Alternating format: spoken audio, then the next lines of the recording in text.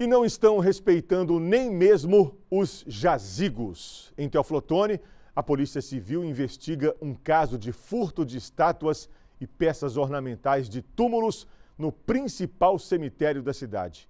Uma quadrilha pode estar por trás do ataque e atua na compra desses objetos. Nos túmulos violados, as marcas de onde havia uma imagem. Além das estátuas, o vandalismo também foi em peças feitas em bronze que decoravam as tampas. Alguns proprietários ainda não tomaram conhecimento dos furtos. Há cerca de 20 anos, essa mulher é responsável pela manutenção de jazigos de famílias e informou aos patrões sobre o ataque. Muito tempo roubaram umas duas, três, umas duas ou três imagens. Uhum. Mas minha não roubou nenhuma.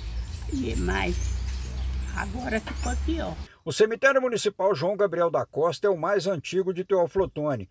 Tem cerca de 100 anos e 5 mil jazigos. É administrado por uma empresa mediante autorização da prefeitura. Valdíria diz nunca ter visto uma situação como essa no bairro Laerte Laender. Levaram a imagem de Santo Antônio e uma imagem de Santa Terezinha. Era grande, a Santa Terezinha era grande. Eu fico boa para comer com pegar essas imagens. Tem que ser mais, porque uma pessoa só não vai saltar o muro, né? A polícia suspeita de que a quadrilha tem entrado em três dias alternados no cemitério municipal João Gabriel da Costa para levar peças e estátuas de pelo menos 10 túmulos. Tão importante quanto identificar quem são os suspeitos é também identificar quem são os receptadores das mercadorias. As investigações estão a cargo da Delegacia de Furtos e Roubos.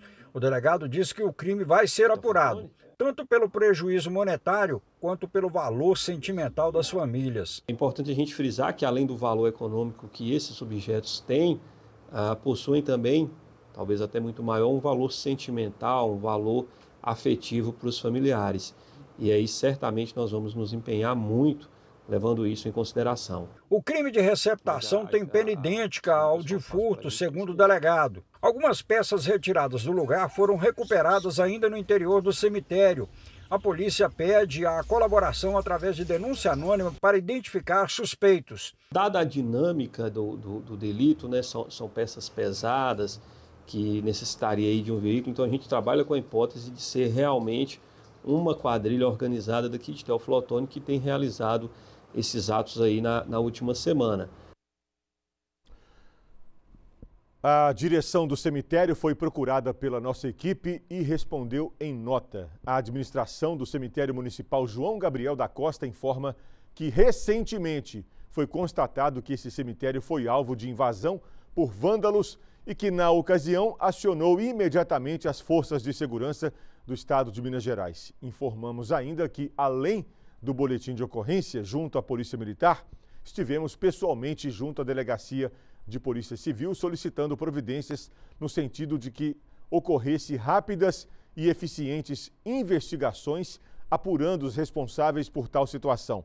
O propósito de não prejudicar as investigações, não concederemos entrevistas ou outras informações. Por fim, reitera a confiança nas forças de segurança do Estado de Minas Gerais e assim espera que essa situação seja esclarecida, os bens subtraídos sejam recuperados e os criminosos punidos na forma da lei, é o que diz a nota do cemitério João Gabriel da Costa. João Gabriel da Costa, em Teoflotone.